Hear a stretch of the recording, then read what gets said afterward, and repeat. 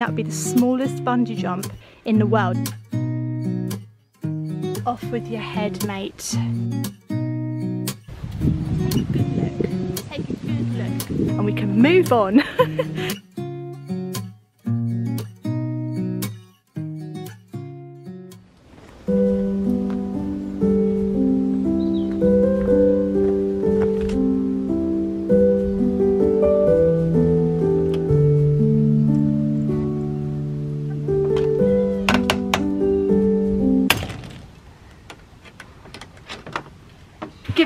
guys, good morning. My name is Emma, these are my allotment diaries. Welcome to my allotment plot in South London.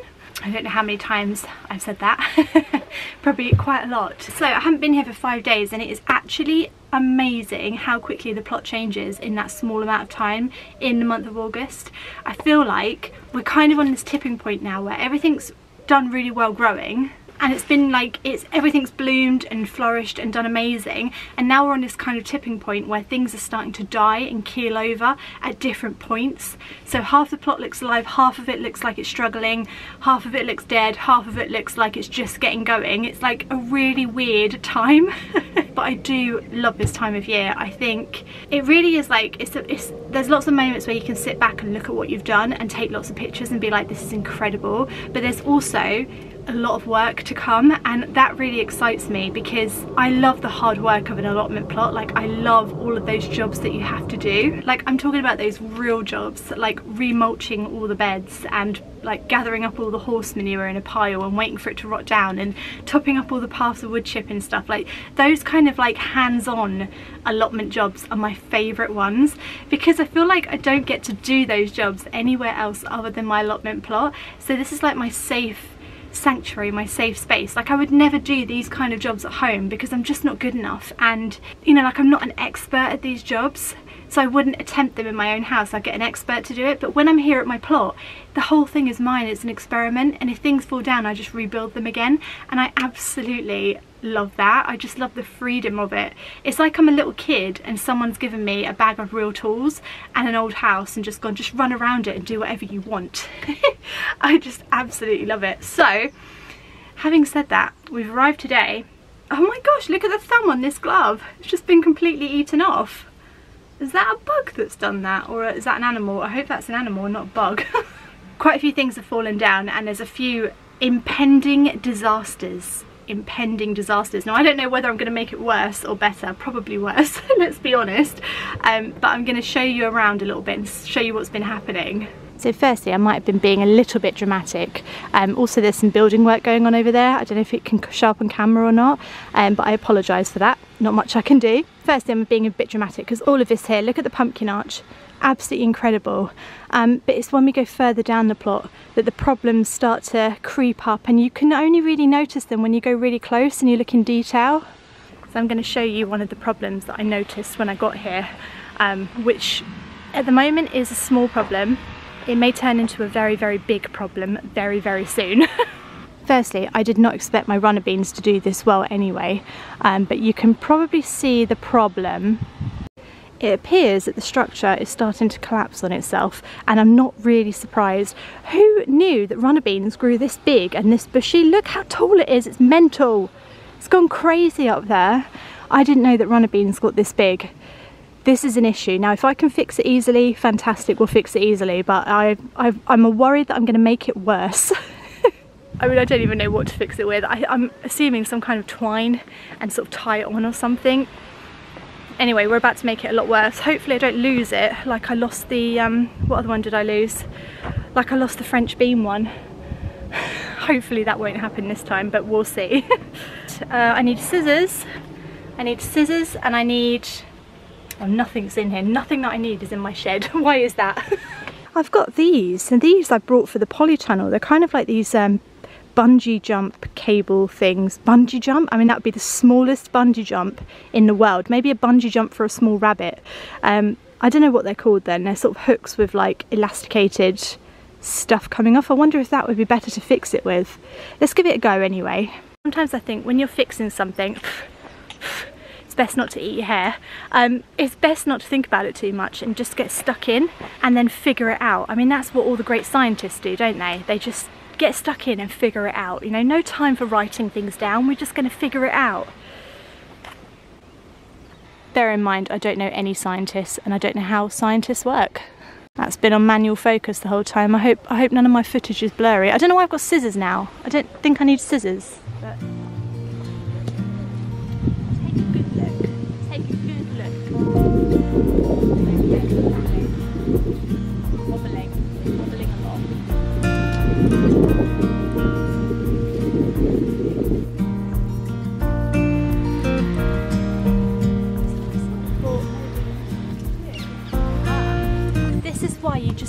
stuff and turn up and just figure it out because I've just seen a situation where this could come in handy now. This is great. This is, this is when I say something and then I immediately get validated for what I'm saying. The issue is it's swaying. It's swaying a lot. I don't want it to sway because if it sways it's going to fall down. So I'm going to bungee tie, whatever this is, the stick to the fence. Not that the fence is any more secure than the stick, but together you know, they might make something that's semi-secure. So there's not much logic to what I say, but when there is logic, you know, it's logical. Right. Just stop talking, just stop talking. Okay, going to move you out the way, mate. So sorry. Uh,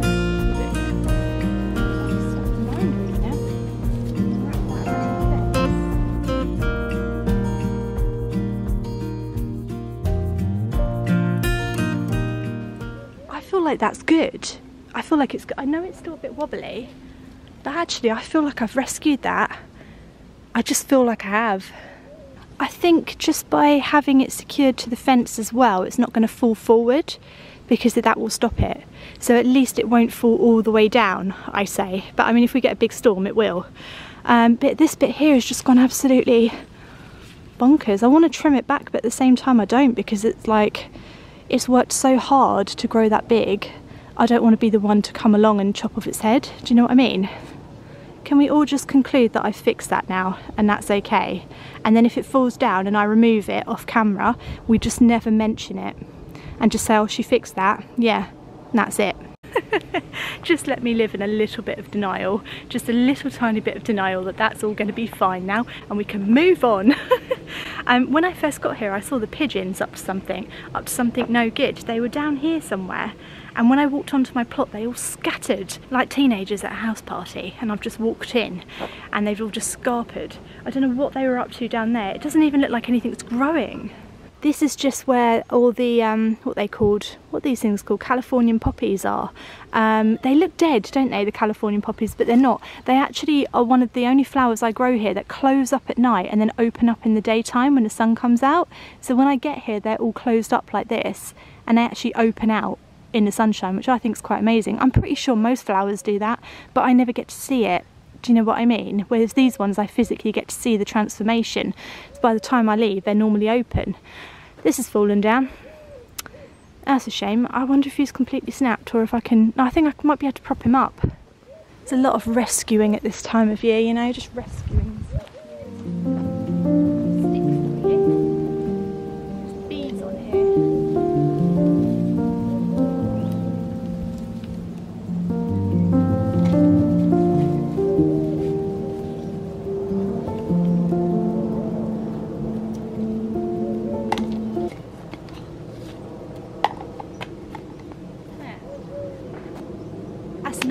fixed. Not brilliantly, but you know, bees be happy with that because they can fly on there now.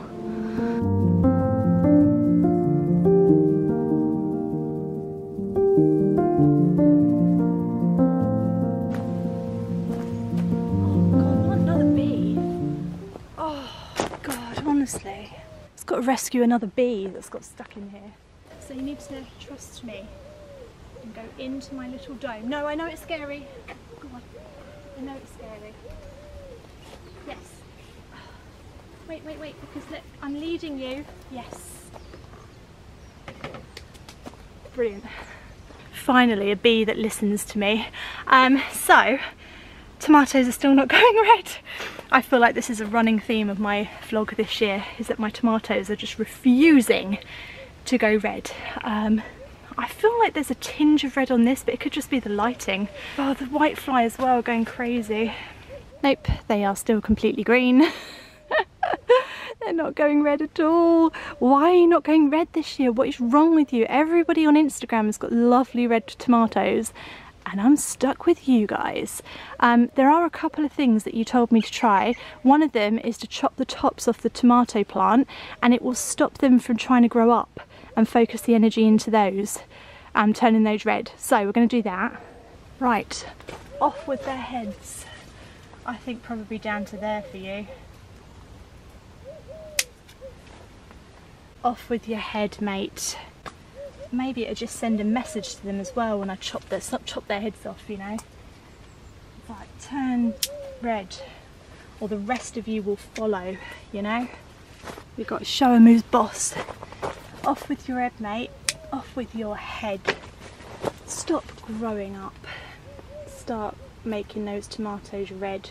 Such lovely tomatoes as well. Why won't you just grow red? Off with your red. Off with your red off with your head and I don't know what you are you're about four tomato plants in one I don't know what you are I'm just leaving you I don't know what you are what you think you're doing so now that we've decapitated all of our lovely tomatoes I hope you've learnt your lesson guys we're going to feed them with some Tomorite and just give them a really good feed and I think I'll probably wait one more week and if they haven't started to go red in a week, I'm going to pick them and put them on a windowsill and, and redden them at home. I don't know if that's the word, redden them, make them go red, force them red. Um, at home on a sunny windowsill, which apparently you can do. Apparently if you put them with bananas, they go red quickly as well. There's loads of tips and tricks for it, but usually that's what you do kind of at the end of the season when you have green ones left. I've never had to do it before for my actual tomato crop, so it will be a first. but I think they can survive a little bit longer so we will give them a bit longer let's give them a feed some spring onions in it's weird isn't it oh look my duck's back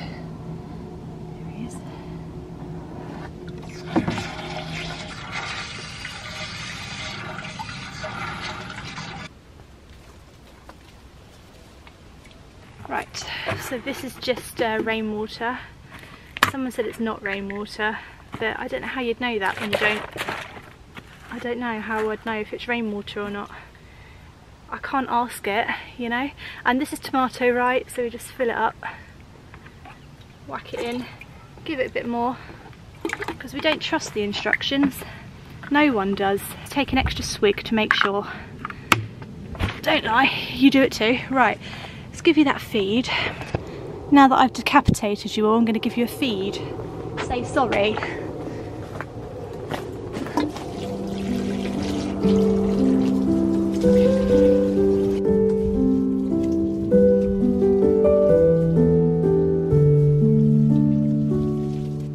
Just noticed that some of my peas are coming up. Remember I planted some peas in here, I kind of scattered them um, in, and I'm going to harvest the pea shoots. And when they get to about that tall, I'm going to start cutting them and eating them as a salad.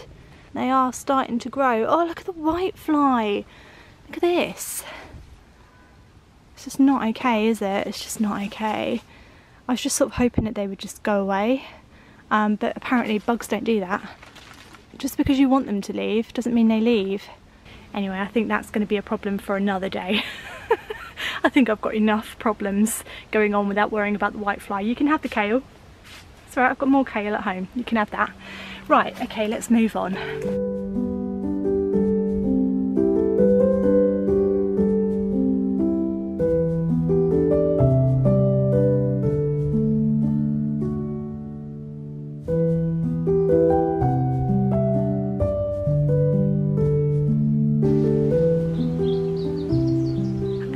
Say there's a problem with my pumpkins because I feel like that's so 2022 um, but I think there might be a problem with one of my pumpkin plants. It seems to be dying guys. It's dying. Prematurely dying. Somebody sent me a message. All right crows calm down. I'm gonna fix it. Somebody sent me a message when I was talking about mildew and saying that it wasn't mildew. I think it probably is mildew. Can you see all the little spots um, and this whole pumpkin plant has started to die back which is really hard. So this is, this is what it does. This is what mildew does. It basically starts to kill off all the leaves and it's obviously like it's got really far up the plant now. Do you know what though, having said that, right, having said that, so this is one of the first pumpkin plants I put in. I've just seen one of the pumpkins from it and the pumpkin kind of looks ready. So I think the way you can tell if a pumpkin is ready or not is you stick your fingernail in it and if it sort of leaves a really big mark when it's not ready but if it doesn't and that just shows that the skin's hardened. I think the skin is really hardening. I think it almost might be ready and it's a very nice deep orange colour. There's another one in here. Yeah, again, look, that one looks done. It really looks like a complete pumpkin, you know? Yeah, I'm still getting, I'm getting a little bit of a mark with my thumb, my nail, but not much. Not much. So I never quite know when they're ready, but I have a feeling some might be. Yeah, he just, I didn't even have to cut him, he just came off. That's a ready pumpkin, that's finished. He's ready to go. Isn't he? Oh, get off. There's always one of you little snails on it, isn't there? Isn't he beautiful? This is a Jack Be Little. He really is little, isn't he? Dinky little pumpkin. pumpkin. He's lovely, he is. Oh my goodness, I think they actually might be ready to pick. Which leaves me in a predicament because I'm not ready to pick them. they might be ready to be picked but I'm not ready for you I'm not ready for you guys um, I'm going on holiday soon and I wanted to pick them after when I got back because I don't know what to do with them all but it may be that I have to take some of them home now.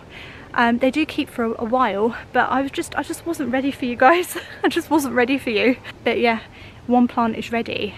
So all of that dying back there, that must be that the plant is literally finishing, finishing, and that is one of the signs that the pumpkins are ready to pick, and I think I can confirm that this plant is ready. Uh, I'm gonna leave the rest of them on there and bring my kids down. My kids can come and pick some because I think they'll be really excited about that. That is a really exciting crop to pick, a pumpkin. That is super, super exciting, so brilliant. Also, I've noticed that some of them are, this is a baby boo plant by the way, I've actually got baby boos growing this year. This is the first time in like two, three years that I've actually managed to grow them. I can see another one in there, just hiding behind the back. It's amazing. I'm gonna tie some of these in because they are sticking out a bit now.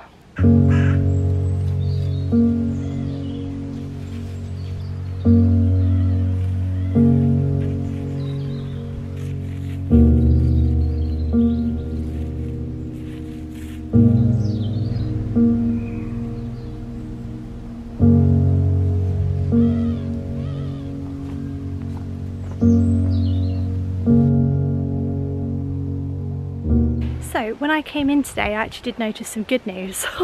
good news, I hear you say, I know, some actual good news from my plot. So I noticed the blueberries have actually started to give me blueberries. So I'm gonna go and pick some and try them. This is the first year my blueberry plant's ever given me blueberries. I think it's because I moved him. I think he just needed some different scenery or something. He just wasn't happy where he was. So, oh my gosh, it is literally, no wonder I could see it when I got into my plot. It's literally bursting with blueberries. I've never seen so many blueberries on this plant before in my life. I mean, I've never seen a blueberry on my plant before. So this is definitely the most by like a mile. Incredible. And I can't believe the birds haven't had them. Do they not like them here or something? No, they just like all my brassicas, don't they? Why eat blueberries when you can eat brassicas? That's what they think. Right, let's try some. Let's try ourselves a little blueberry. Oh my gosh, so excited. I tried one from my plant at home and it was really quite sour. so I'm not expecting much from these, but we'll try. Right, here he is, little blueberry.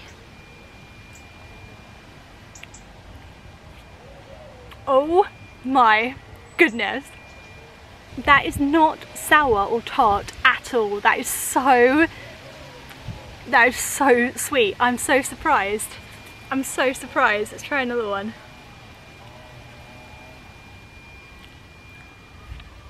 Mmm. so good. That is so weird because even when I buy blueberries like in a box from a shop, I get like they're quite tart, they're quite sour, and I always thought that's what blueberries were. These are like a different level of sweetness. They're amazing. Oh, my goodness. It's like you can actually taste blueberry, not just like sharpness. It's amazing. Oh my god, it is so good. Mmm. I really should save some for the kids. But It appears I'm just eating them all. Oh. These are like the best blueberries I've ever tasted in my life. And I grew them. That one's a bit overdone. Mmm. I just eat it off the plant. Like an animal. Five minute segment of me just eating blueberries. Right, I think that's all of them. Gone. just ate every single one of them. Well, thank you, plant. You've been here for four years and you've just given me a little little feast of blueberries. Thank you very much. That was worth it, wasn't it? That was worth four year wait. Imagine you just refused to buy blueberries and um, you grew a blueberry plant, it took you four years to grow and you just sat here like I did and just ate them all in like 25 seconds. Anyone who says growing your own food isn't worth it, they're lying. it's so worth it.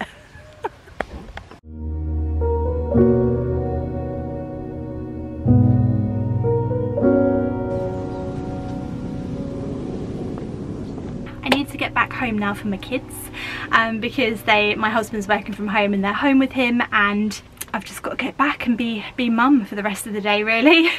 But I absolutely love coming down to my plot first thing in the morning. It really clears my head. It gives me such a good it fills me up for the rest of the day and it just puts me in such a good mood. And I feel like I've got that vitamin D kind of like through the clouds but still I mean sun is sun right? Um, and I've got my my nature fix and I've been outside and I've got fresh air and exercise and it's just fantastic and it really sets me up for the day particularly when like my kids are home now because it's summer holidays and it's been it's always a little bit difficult when they're home because they always want stuff and always want to do stuff. And so you kind of your normal routine is kind of disrupted and stuff. It's fantastic. I love spending time with them but having this little bit of headspace in the morning it does wonders for me. I will be set for the day now. Whatever they want to do I'm there. I can be fully present. And I just I love that about my allotment plot. That's what it really gives me I hope you're enjoying your allotment plots too. Uh, leave me a comment below, let me know what jobs you're up to at the moment. It's end of August, so hopefully your plots are falling apart too. And I say that in the nicest way because if it is just me that is having to rebuild everything, I'm in trouble. um, so I hope that you are, you know, enjoying your plots and, and hopefully it looks a bit like mine and that will make me feel better and hopefully it makes you feel better to see my plot. There we go, we're even now. I will see you again in my next allotment vlog. See you then. Thanks for watching guys. Bye.